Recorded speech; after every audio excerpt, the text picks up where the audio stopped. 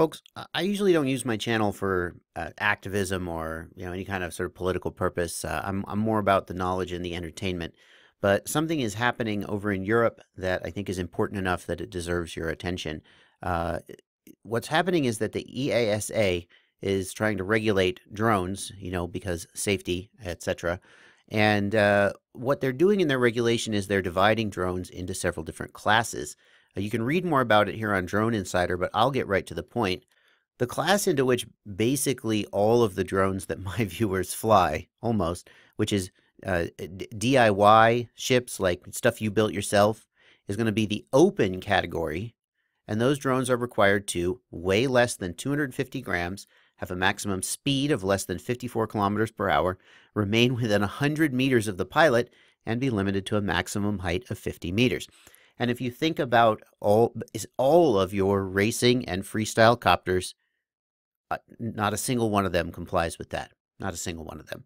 They're they're all more than 250 grams. But even if you scrimped and scrimped and got the weight down to 250 grams, which is possible, they're going to go faster than 54 kilometers per hour, and they may go over 50 meters. Basically, you just can't have drone racing in the UK, as far as I can see, under these regulations.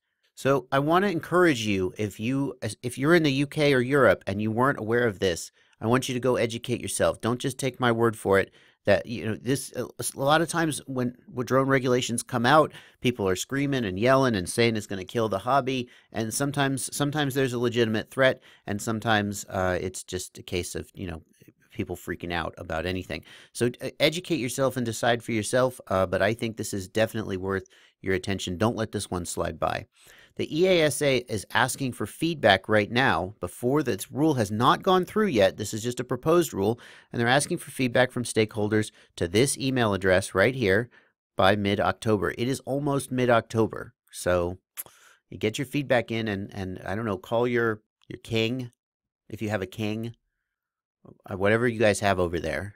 Get in touch with your representatives uh, and and try and have your voice heard uh, get it get it connected with local uh, groups in the U.S. It would be the AMA, but whatever it is over where you are, uh, because I there's a I had a conversation with a drone racer out of Italy, and I said, "How's the how's the racing scene over there?" And he said, "It's non-existent because the Italian regulations are already kind of like this." In, uh, and I, am going to get the details wrong, but the gist of it is that uh, in Italy, the drone has to have a remote kill switch, and it has to have it's required to have redundancy on certain things like I don't know, like a redundant flight controller or a redundant receiver. And basically it puts the complexity of the drone out of the it's just too big, too heavy, and too complicated to really be drone. And that's why you got you ever notice you never see drone racers from Italy pretty much? No, there's drone racers out all over Europe and you just hardly ever see an Italian one, and that's a big reason why. There's no scene over there because of the regulations. So check this out. Research this yourself. Don't just take my word for it. Read up on it. Read this. Start with this article. Do your own research. Decide what you think, uh, if you think it's important, and then send your comment to here and do anything else you can do to get your voice heard. Because all you guys who race and do freestyle over in Europe, uh, that's if this goes through, I think you're just done for. Okay. Happy flying.